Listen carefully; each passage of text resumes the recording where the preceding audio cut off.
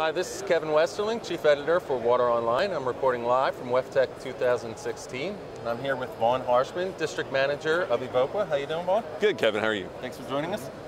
Um, to start, Vaughan, can you tell us uh, about what causes sewer corrosion? Well, what causes sewer corrosion is generally hydrogen sulfide. You know, some corrosion is natural in the humid environment of a sewer. But when you get the accelerated corrosion like we have here with this manhole cover that we're displaying, this, this manhole cover is only a year and a half old and you see the condition that, that it is in. That kind of accelerated corrosion comes from hydrogen sulfide.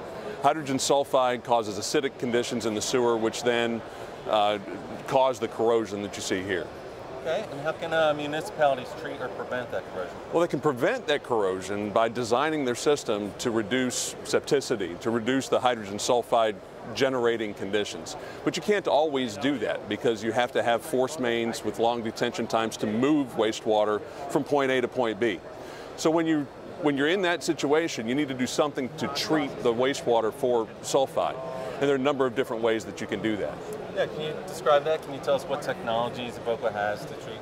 Sure, sure. We have uh, our Bioxide and Bioxide Plus 71 solutions, which are nitrate-based uh, products. We have Alkagen, which is a pH shift technology, which works with the sulfide to uh, change the solubility of sulfide, keep it in solution.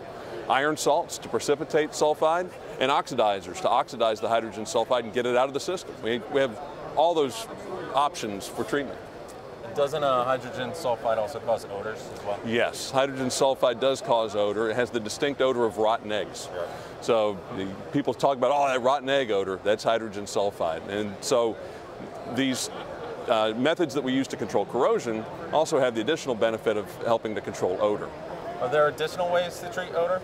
Yes, when you're looking at odor control, um, you can do the, the liquid phase treatments that also treat corrosion like I just talked about but then you can also treat the air. And we have a number of different ways to treat the air also. Biological systems, our Zabocs and Whisper biofilters, uh, low pro chemical scrubbers, and carbon adsorption systems.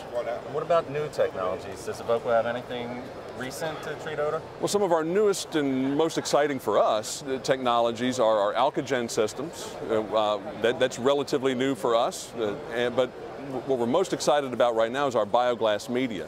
I happen to have some here. This is a, uh, a biofilter media that is made from recycled glass. It's very light, it's very porous, so it supports the biology very well, and because it's glass, it's acid resistant. So it's not susceptible to the corrosion that you see in the system. Um, it, it, it's very durable and, and, has a very long life.